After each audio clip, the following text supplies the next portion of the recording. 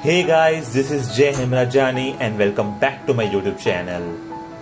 In this final episode of Scribble and Glow animation, I will show you how to add the glow and export the final video. And let's get started.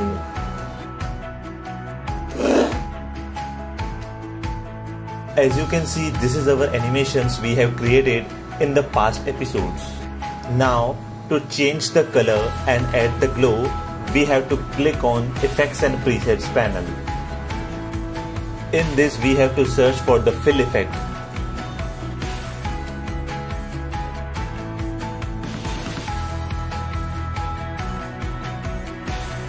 Now, just click on the paint on transparent option. Just drag the fill effect to the panel. As you can see the color has been changed to the red color. We can change any color of our preference. I will keep the blue color as I want to match the dancer's vibe.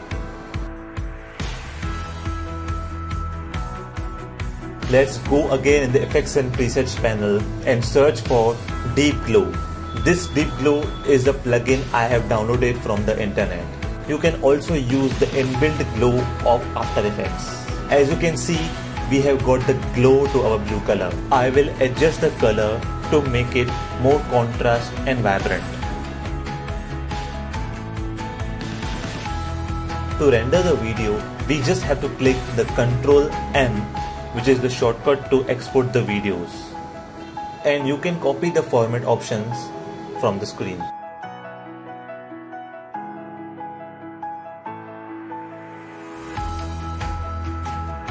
Simply click the render and you will get the final video.